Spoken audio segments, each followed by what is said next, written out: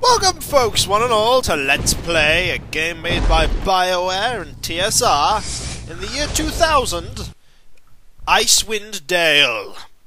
The spiritual successor to Baldur's Gate, in the sense that it was released after Baldur's Gate, before Baldur's Gate 2. This game is similar to Baldur's Gate, except that you, all characters have to be generated by the player itself.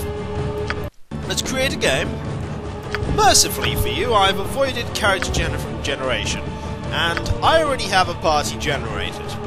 It took me a while to get them going, let me tell you that. So a few things are different in this version. For a start, we're using Advanced Dungeon Dragons. Prepare to be destroyed! Let's not pick women voices.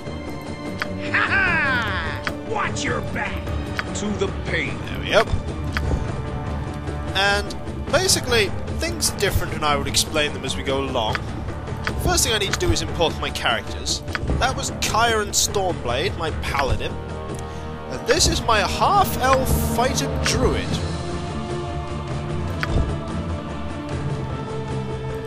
Attack! Who is a relation of Barry Coleman. I'm not having the original party from Temple of Elemental Evil, mainly because if I have them, um, that uh, basically, if I have them, they uh, can't be here and at the Temple of Elemental Evil at the same time, can they? So we have Saracen Coleman, Import Party 3, and this is the first woman of the team. There are actually three women in this team. Attack! I shall speak. A little fire and lightning should liven things up. Attack! Make peace with your gods. And I think I called this one... What did I call her?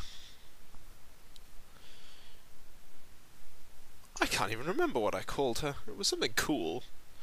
I've mind blotted. Fantastic. Uh,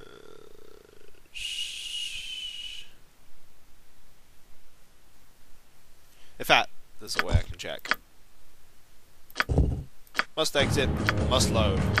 Because I have the party here. Alenja Turner. There we go.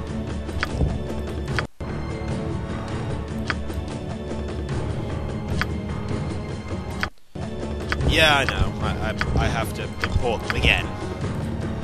Mainly because I forgot her name and it was quite a good one.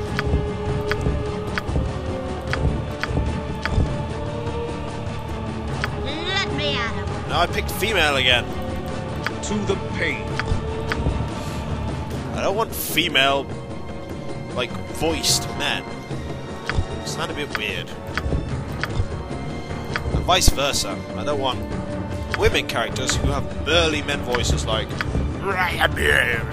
It would just be a bit weird. Attack!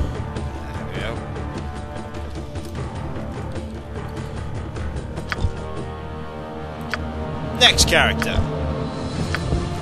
is the cleric, well, the, the pure cleric.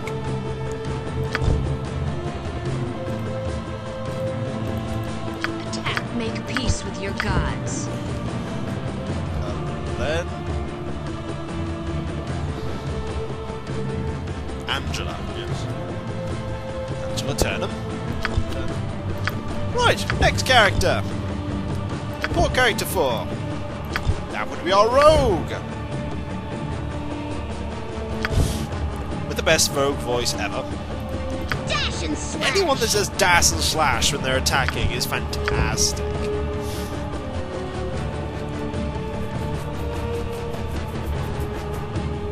No, no, no, this is the elf, isn't it?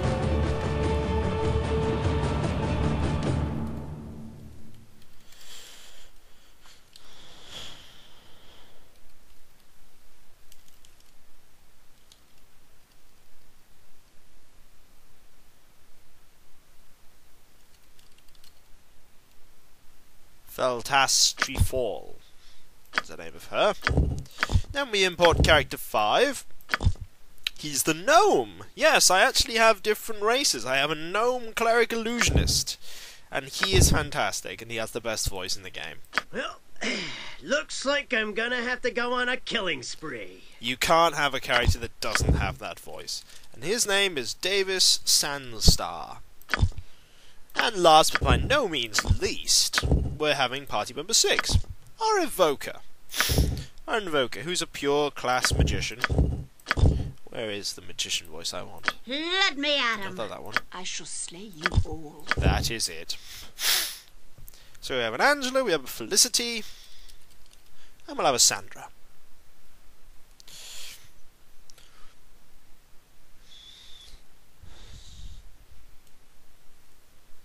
Hmm.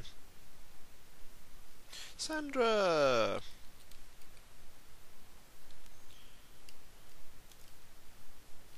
Sandra Hilson. There you go. Right.